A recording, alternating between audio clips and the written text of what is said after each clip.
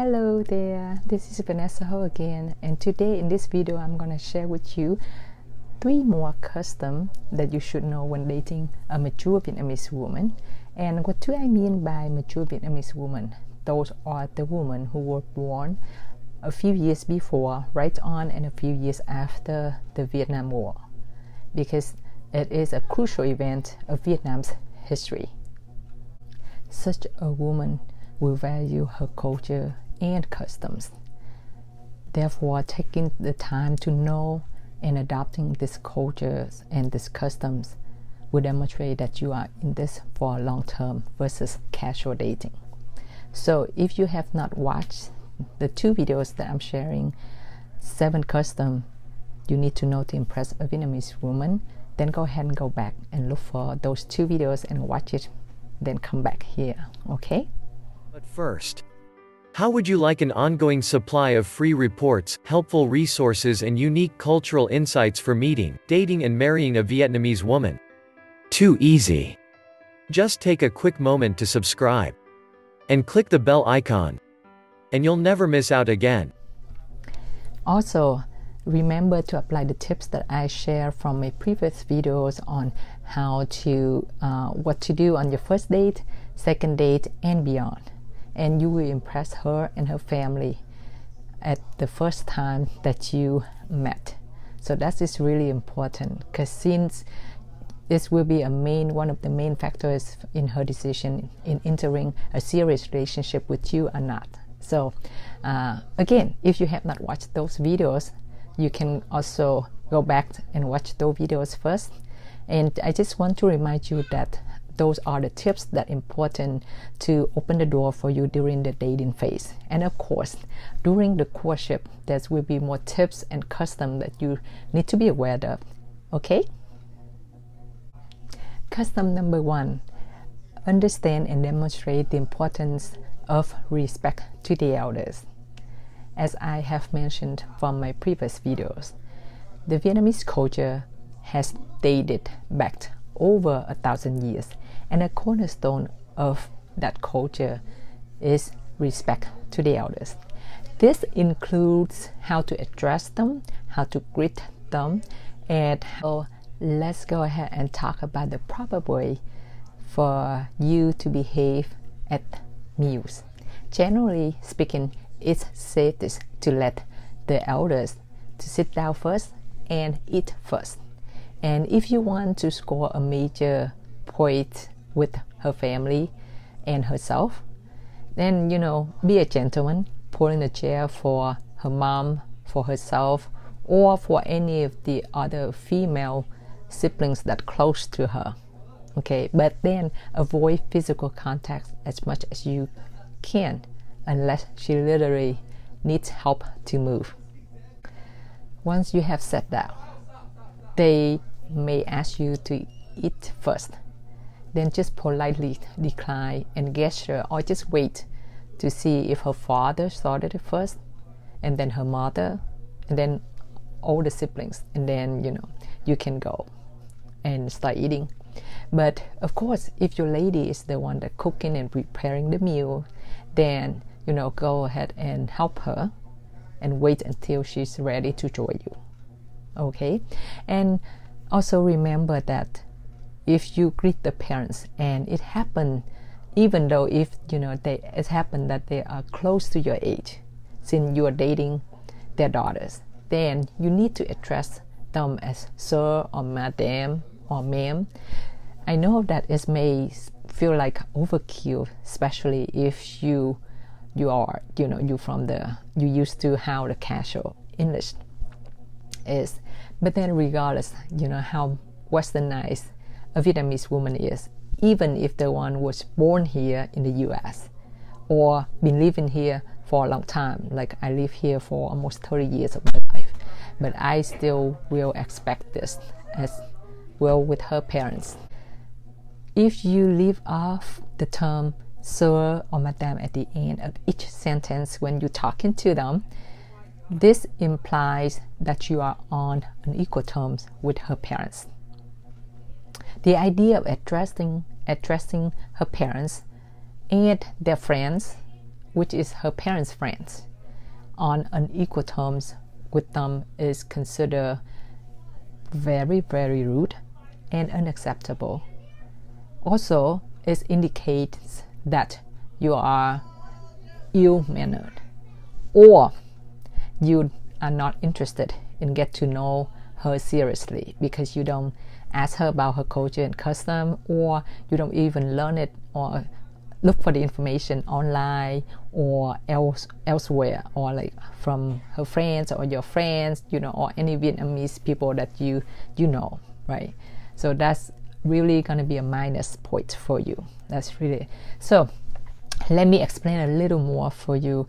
Uh, if you for you to kind of like easier to understand what do i mean by that like just think of um, uh, a military analogy okay the ranking that.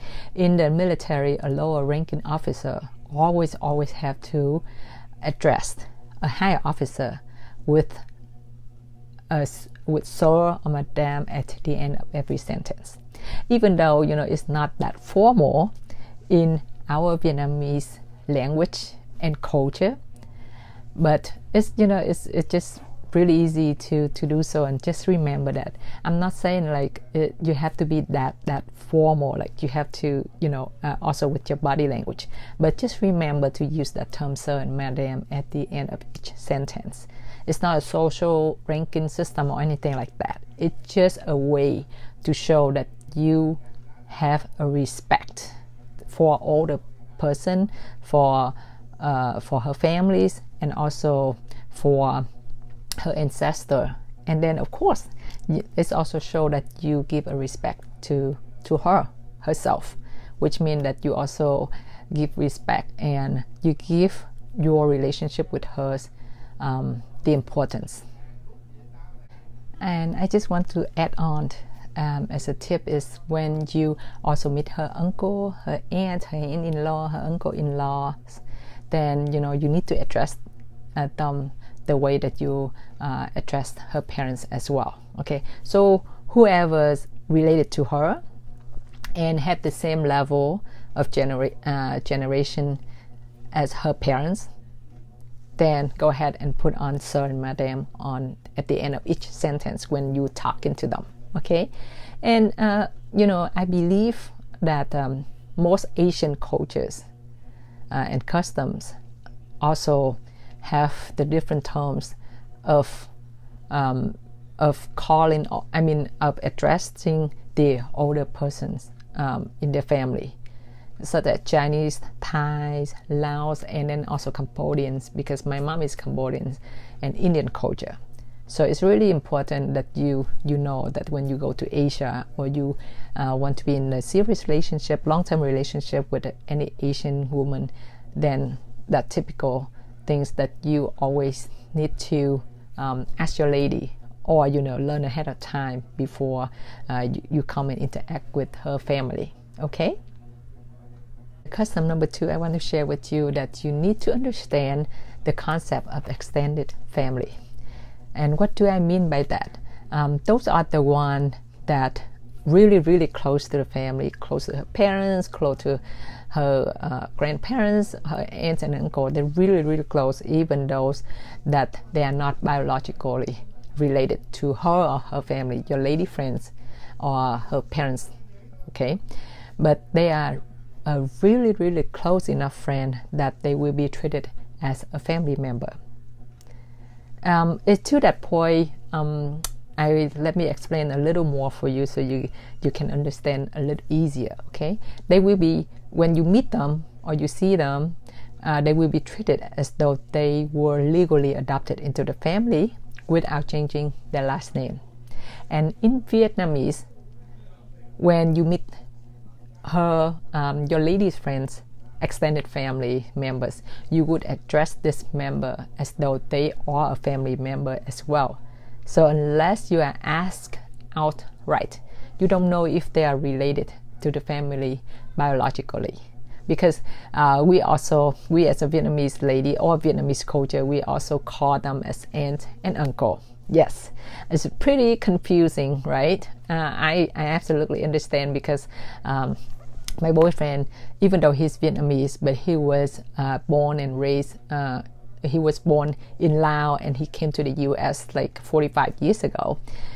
And when we first dating, and uh, and uh, when we first go now, when I mentioned to introduce to him my like my mom's best friend, and I call her as older auntie, then he was like, "What? Oh, so is she your mom's sister?" I say, "No, she's just my mom's best friend for like I have to say uh, 65 years, 60 plus years, but we have to call her respectfully in the way like aunt." So for you, when you um, go out with your your lady friend, then you need to call. If she address her as a aunt, then you need to address her as an aunt as well, or uncle if you know the gentleman.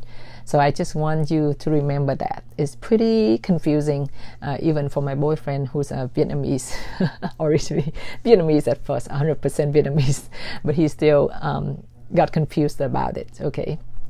So just make sure that you either follow your lady friends uh, the way that she calling uh, the people around her when when you meet at the meal or in public or in private doesn't matter, or just ask her ask her you know. Um, you know, whisper to her ears and ask her ahead of time before you uh, actually say it out loud. Okay.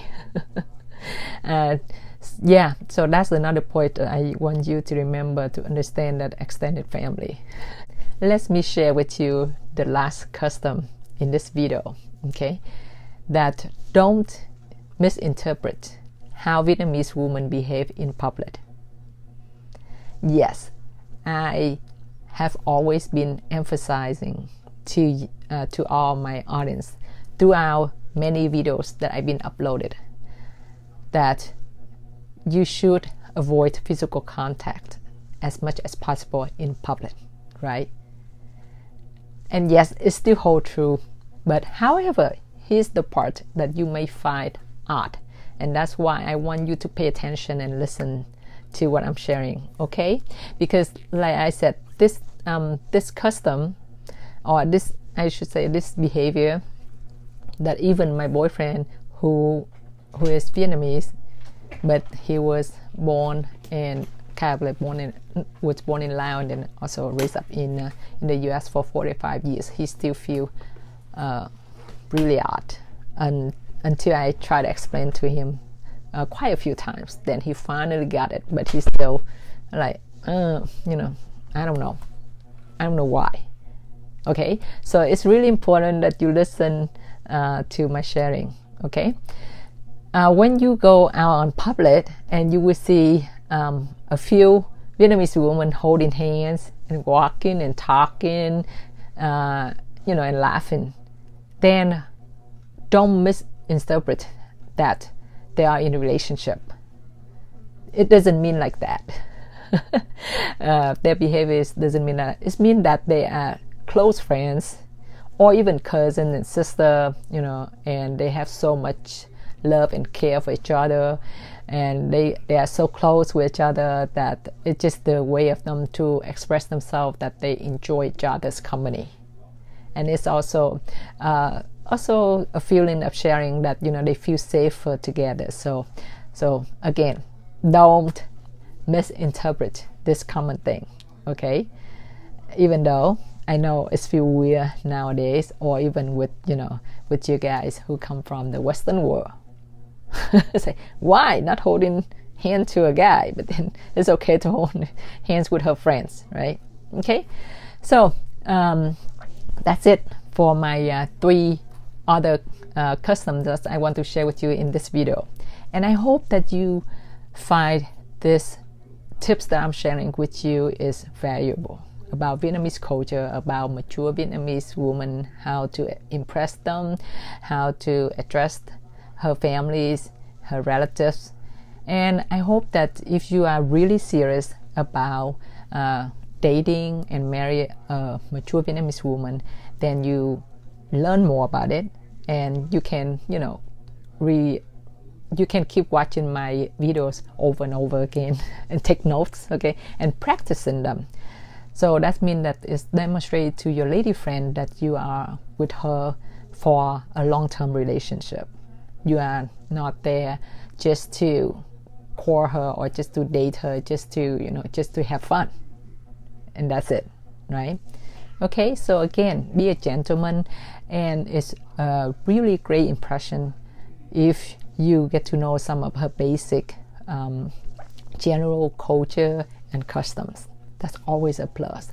I think that's that's implied to any cultures in any countries, any nations. I, I, I strongly be, I'm strongly believe in, in that. Okay. Okay. So again, I would love to hear um, back from you, from your feedbacks or any question or any comments. And thanks again for watching. Thanks again for um, sharing because I've been receiving quite a few questions and comments and feedbacks. And thanks so much for that. And I'm looking forward seeing you on my next videos. Okay.